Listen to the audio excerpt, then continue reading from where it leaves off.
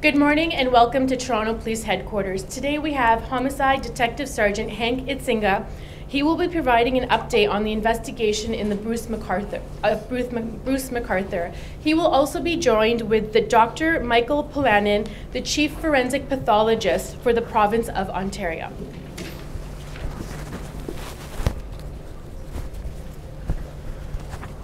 Good morning. Thank you for being here. Got a lot of material to get through, uh, so thank you for your patience. Um, I will be providing you with an update on the Bruce McArthur investigation.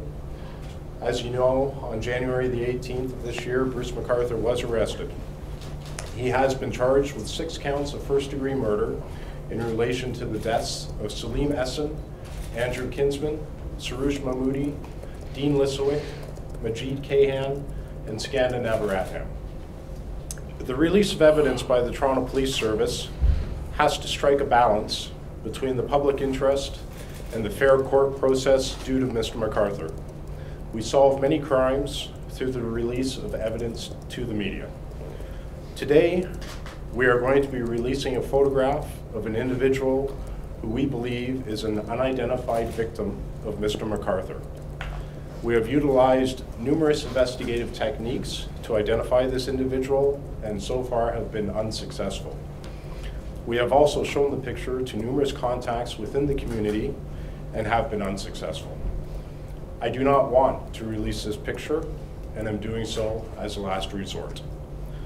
For those who are watching on our live stream, I would suggest this photo may be disturbing to some viewers I would also ask the media to be mindful that by broadcasting this picture, a family member or friend, not realizing that their loved one is deceased, may come to that realization from the moment they view the picture. I will not be commenting on how this picture came into our possession.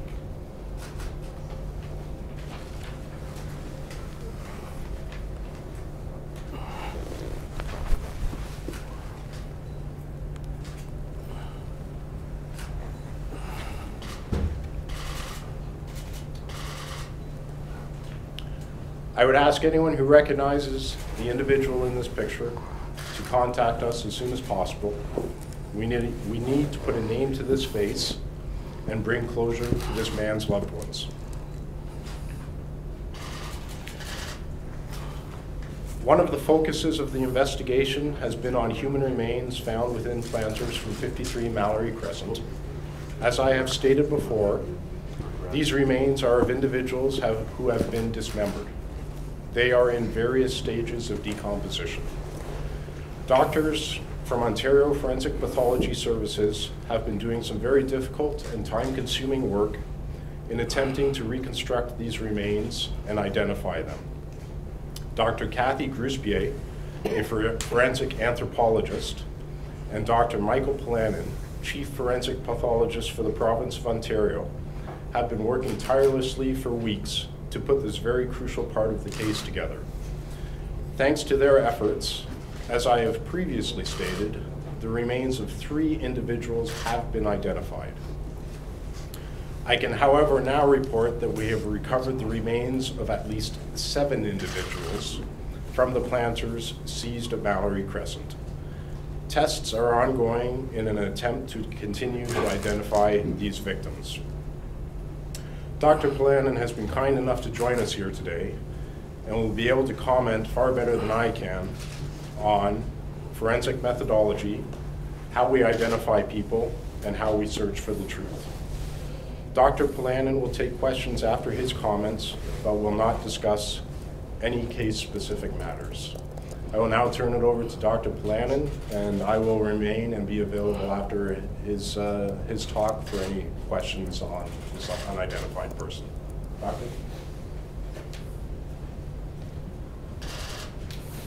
Good morning. Um, as you know, my name is Michael Pollanen. I'm the Chief Forensic Pathologist for Ontario, and as such, I represent the Ontario Forensic Pathology Service. We are the main organization in Ontario that investigates uh, sudden and unexpected death uh, using autopsies by basically applying the methods of science and medicine to learn the truth behind how people die. This particular case has um, challenged the Ontario Forensic Pathology Service, and we have used a multidisciplinary approach to try and find the truth behind what's happened. Um, specifically, I wanted to give you some context about this from a methodological point of view and discuss some of the processes that we've been undertaking. Um, to, to, to make it more precise, however, to begin with, we have two major centers of gravity in a case like this. The first is there is an overwhelming humanitarian objective to identify the people uh, who, in this case, have gone missing and then have, have been found um, dismembered and decomposed in planters' pots. This uh, humanitarian objective of determining who went missing, identifying their bodies is an important application of forensic science and medicine. On the other hand, equally important is the creation of a reliable data set that can be used in the criminal justice process. So it is these two uh, major objectives which have informed our process. This is through teamwork um, because we need to utilize many different scientific disciplines pathology, anthropology, dentistry, fingerprints, all these different modalities are integrated together to understand what's happened. And I just wanted to leave you with three specific things about how we're doing our work or what we are concentrating on at this moment. The first thing is we need to identify these people using scientific means. The way we do so is by comparing what we call ante-mortem information, that is information about missing people, and we compare that to data that we have obtained through the physical examination um, of the remains. That matching of ante-mortem and post-mortem data together uh, produces the identification. The mainstay of that process has been fingerprints, dental identification, um, through the comparison of dental records, um, as well as looking at medical records to determine if there is a similarity between missing people and various surgical procedures or implants that might be present in the body. As part of that whole process, we also utilize DNA, but usually as a last effort based upon the more traditional techniques. This is our uh, primary objective from a humanitarian point of view. The second major thing that we are working on at this moment is determining the cause of death. In these cases, um, or as in any sudden death, death can occur either through disease, injury, or the effects of a toxin, drugs and alcohol. So we are undertaking a systematic scientific analysis of the remains to determine if we can ascertain the cause of death. Third major objective is to use forensic methods based in science and medicine to ascertain what we can learn about what happened to these people, specifically over three time frames. First, things that happened to them before they died, things that occurred to them or happened to them around the time of their death, including how they died, and those things that occurred to the bodies and, and remains in the post-mortem period, such as dismemberment and deposition uh, into pots. So these are the, this is the universe, as it were, the scope of forensic science and medicine in this case. It is a collaborative effort. Um, forensic anthropology has been uh, very instrumental. The Center of Forensic Science will be performing uh, DNA and toxicological examinations, and my staff has been working tirelessly to assist um, whatever we can do to ascertain the truth behind these cases. Thank you for your attention. Any questions for Dr. Pollanen? Do we have any indication about cause of death, even for some of the victims, do you believe different, different causes of death? So at this time, uh, the cause of death is pending further studies. Um, you can imagine that the state of decomposition um, and the um, dismemberment process requires us to reconstruct remains uh, and then uh, collect all of the relevant data anatomical data, toxicological data, put it all together to ascertain the cause of death. That is a painstaking process and is stepwise. It'll take some time. Given that, is there a possibility you'll not be able to ascertain the cause of death? It's possible. I mean, at this point in time, we just have to see where the data takes us.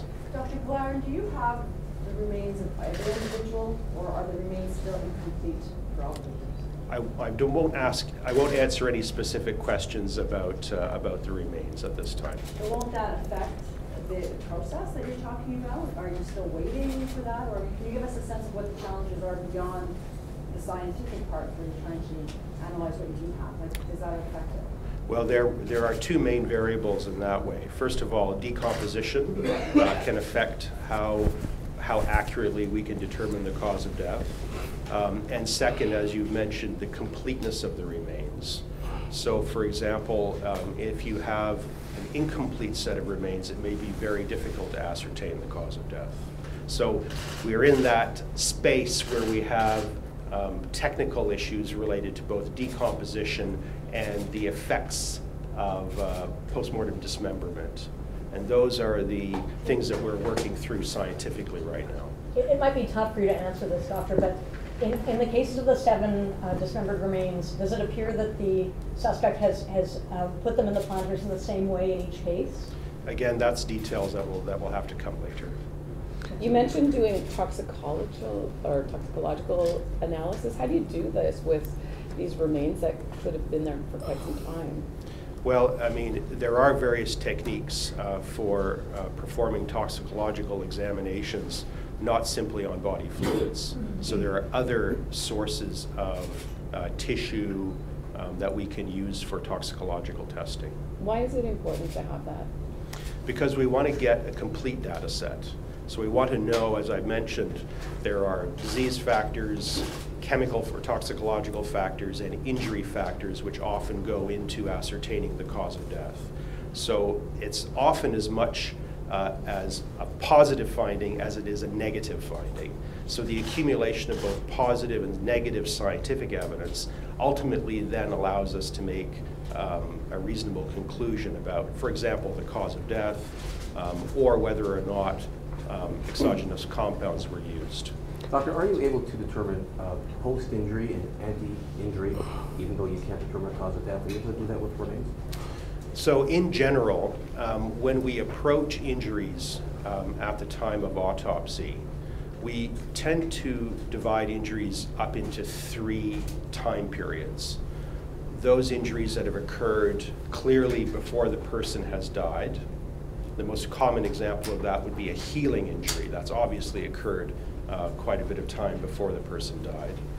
Those injuries that occurred around the time of death, and those often may in fact be the cause of death. And there are injuries that the body can sustain after death. Um, one example of that is dismemberment, but that's not the only example. Um, mother, another very common injury that happens um, post-mortem is, for example, exposure to fire. So there are many, there are many different types of injuries that you can document at autopsy, and then you have to ascertain over which of those three time periods uh, those injuries occurred. For this uh, alleged seventh victim, any idea a time of death, a rough date when uh, he might have been killed? Can't get into specifics about, uh, about the case. i my role here really is to describe our methodology and process at this time. When you look at the, the size of this investigation, we've heard from police this is unprecedented. In your expertise, can you talk about what this is like for you, what it's like for your team, how many people you have on it, and, and the gravity of, of this investigation? Well, this is a unique investigation in the history of, uh, of our organization.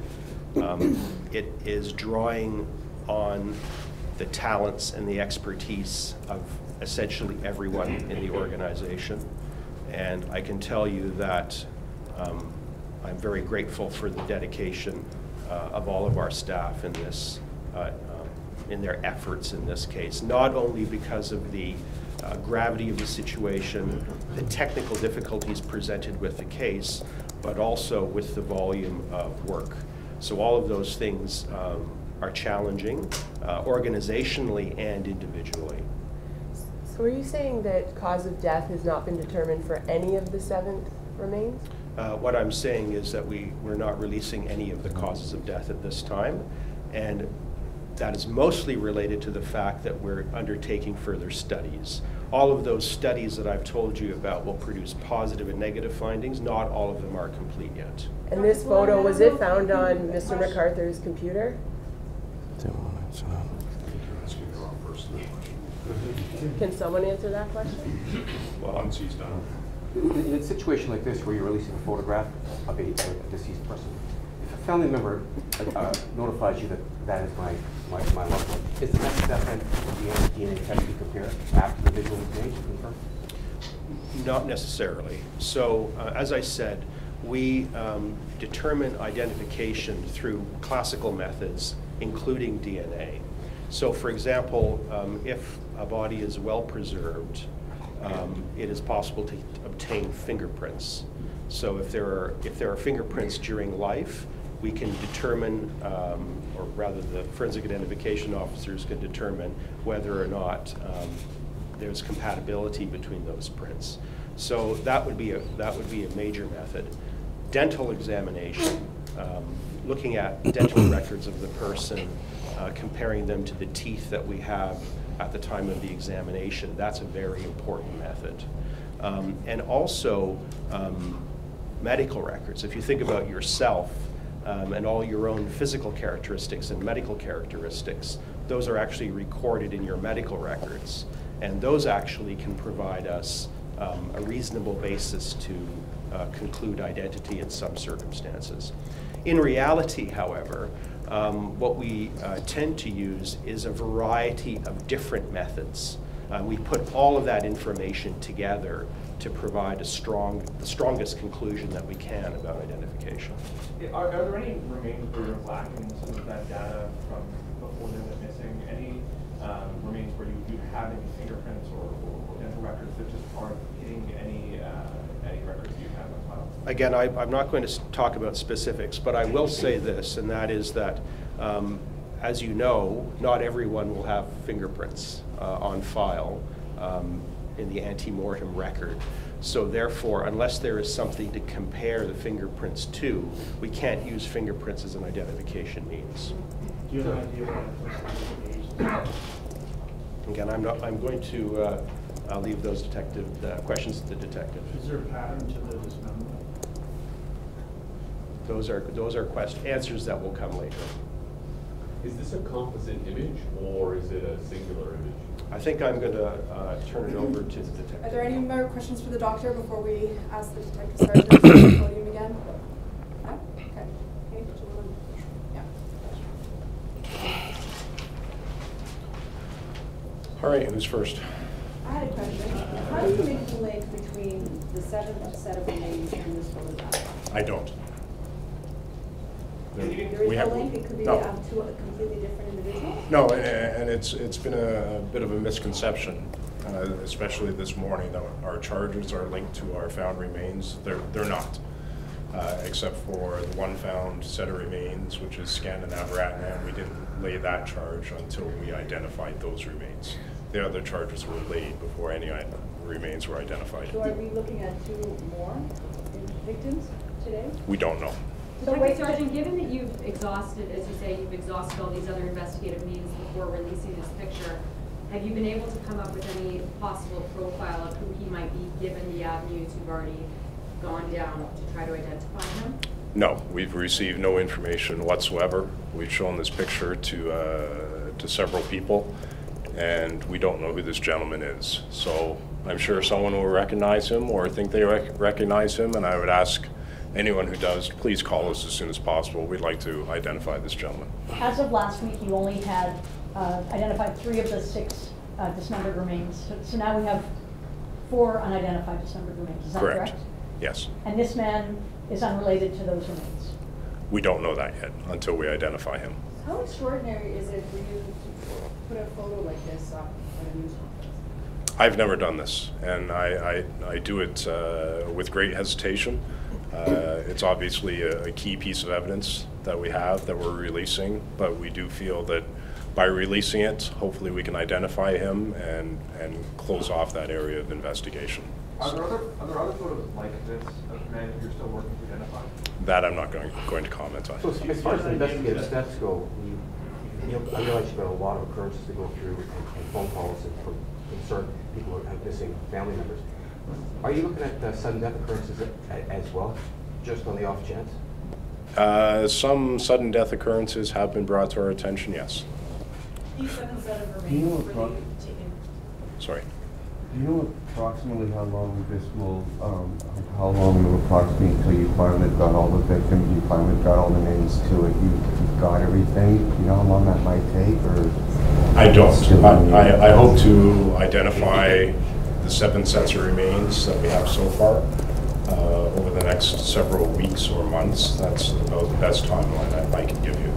Just to clarify, remains of the seventh set that you just uh, announced that- that you found, were they found in planters on Mallory Crescent as well? Yes, sir. Previously, when you uh, spoke to us a couple of weeks ago, I believe you had said that you had gone through all the planters at Mallory and that you had I found six remains. Did you, you know, were you withholding the seventh? How did you, uh, you know, at what point did the seventh uh, w- was found? I wasn't withholding, but I think if uh, Dr. Pollanen didn't give an adequate enough explanation, I can't really get into specifics about why we hadn't realized that there were seven remains there. But we had finished the planters a couple of was just so, ago. so decomposed? Again, I can't get specific about it. Just to clarify, can I just- Sorry? Uh, Your guess is as good as mine, Sam. Is this, I- is this a picture of this man deceased, just to clarify, Detective Sergeant? We believe it is, yes. What do you want the public to know about this identified man if they're listening? Like, someone hears that today you released this photo and they think they have him. Where do they go? They can call Crime Stoppers anonymously. They can call the Homicide Squad, 808-7400. They can call our tip line, 808-2021. They can call any division in the city. They can call any police service in the province. They'll pass the information on to us, and uh, hopefully we can figure out who he is. Is this a composite photo? That I'm not going to comment on. what it's photo from is nothing? deceased in the photo? Sorry? Is this a photo of a body or a live person we're looking at? We believe this is a photo of a deceased person. Do you know when the photo was taken? No, I don't. Yeah, there's obviously, there Shit. there would be Exif data or metadata from this image ostensibly. Have you searched that and did you get any sort of indication, any more details about when or how this was taken? That uh, goes without saying, yes. Do you have other photos like this of other men? Again, I'm not going, going to comment on that. As you ask the public for help and information, can you shed any light on when this individual you believe may have been killed? I don't know. Did you find this one because the weather was good uh, recently, or, and then you expect the earth to fall and find more? This photo? Yes. the- the- the- Or the, the seventh? No, we already had those remains. Do you have an idea of where the dismembering happened, what location or locations there's been crime relation to dismembered? That we don't know yet, no. Where does the investigation stand in terms of recovering remains, searching for remains? We're uh, pretty much in the same position where we are still waiting for some warmer weather to revisit some of the sites that we've already visited. Uh, As I've stated previously, there are several addresses that we're more interested in than, than others, uh, but we, we are continuing those searches. What can you tell us about cause of death? I can't. When we spoke Do you you know few any of them though? Sorry? Do you know any of the causes of death? Uh, I believe we have some evidence which would indicate a cause of death, but it's not something I'm going to get specific about right now. When we spoke with you a few weeks ago, you, you said that you believed there was more than one location where the murders had occurred. Um, do you have a number now on how many locations these murders occurred at? I do not know. So where are you at, detective, in terms of identifying now four sets of remains? Sorry, say that again? Where are you at in terms of identifying what we have now as four sets of remains? We still have four sets of unidentified remains, and we've gone through fingerprints and dental records. We're now into the DNA process, and the timetable for that is ultimately up to the Center of Forensic Sciences and see when they can get, get us some answers on that, providing that we've provided them with the right set of uh, DNA artifacts to test. Do we have a better timeline for how long these remains uh, go back for? Well, our earliest murder charge is Skanda Navaratnam, who was killed in 2010 and whose remains have been identified. So that's as far back as I can go right now. We, we reported last week that there was a house in Oshawa where Mr. McArthur used to live with his wife and family. Uh, you got a tip uh, that you confirmed to us that uh, said that someone used to babysit. She wasn't allowed to go into the basement, into the garage. What do you plan to do with that premises? We're aware of that information. Uh, Keep in mind that we're also privy to more information that you're not necessarily privy to. So right now, uh, I I can't comment on exactly what we've done with that house or where we're going with that house, but we are aware of it. Detective, what's the status on the historical cases you are going to look back on? Have, do you have a sense of how many you're at or where that process is at? Uh, We've just begun, essentially. Uh, I I- I can't give you a number. I can tell you that we are going through some historical cases. I see the cold case, uh, the detectives here. That means the photo was taken, yeah. Uh, Cold Case has had some involvement in this, yes. Is it a challenge, though, that his victimology or the profile of his victims might have changed over the decades? And from what we've, from what we've learned from experts that we've spoken to, is that something that you're keeping in mind when you're looking back? Absolutely, we, and as, as you stated, the, uh, the profile actually has changed over the recent years, not just the decades, so we've got to be very cognizant of that as we go through some of these old cases. What do you look for then? Uh, Missing persons uh, that haven't, haven't been located, unsolved cold murder cases, uh, some, like, like I said earlier, some sudden deaths, we're looking at everything. Can you foresee a task force being put, put together as, if this continues? I mean, There is As large as this investigation is going to grow? Can you, can you see that down the road? I realize Right. you- you know the Are you ball. differentiating between a task force and a project? Or project, task force or project, do you see one being put together for this? For the So long essentially, we do have a project going, and over the weeks, it's been expanded, and we will keep that project going until we don't have anything left to do. You said wh- when you uh, first began investigating Mr. McArthur that he, he did not specifically, technically was your term, have a criminal record. If he had have had a criminal record when you began investigating him, could it have led to an arrest sooner? That's a very big hypothetical, I don't know. Sergeant, you've said before that international police are actually involved in this investigation. Are you able to tell us a little bit more about how they may have helped you in this? Not yet. Not yet. If I get some answers on that, I, I hopefully will be something I But can you're still share. looking into possible activity outside of Canada? Possible, yes. Does this project have a name? Prism. Detective Sergeant, uh, I'm I'm sure you've heard from dozens of witnesses, people who knew the victims as well as McArthur.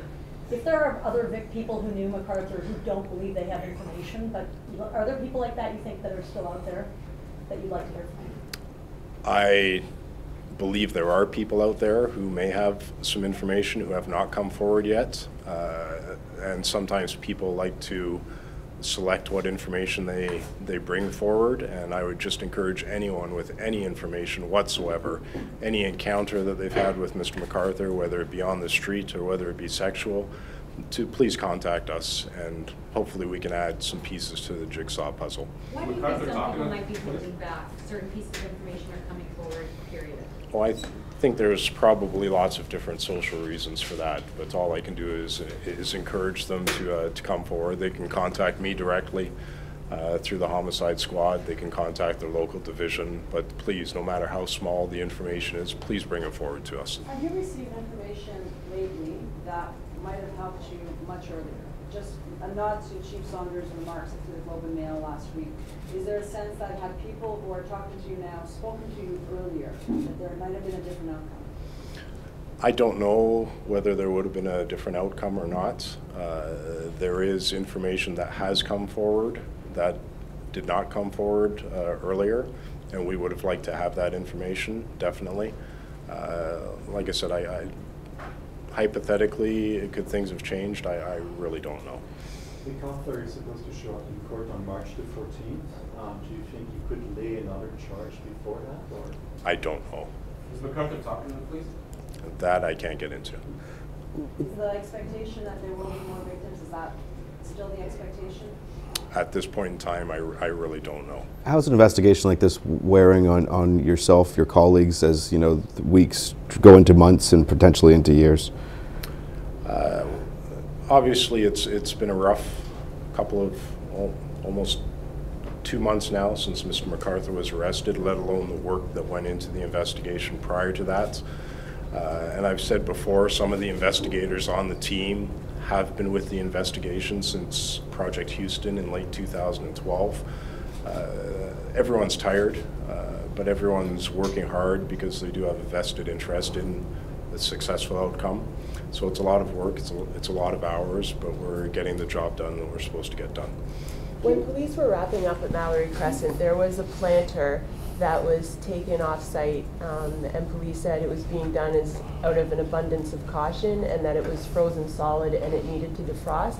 Were the seventh remains found in that planter? That I'm not going to get specific about. Can you tell us how long you had this image?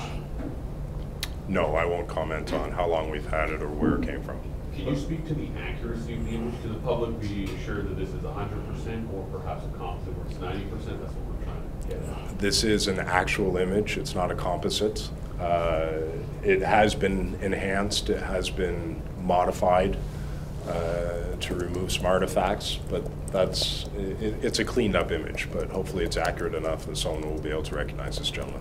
Is, is it a picture taken from where McArthur killed his victim? Again, I'm not going to comment on where the picture came from. But it came out um, in your investigation? Yes, Was it Thank found you on his computer? everybody. thank you.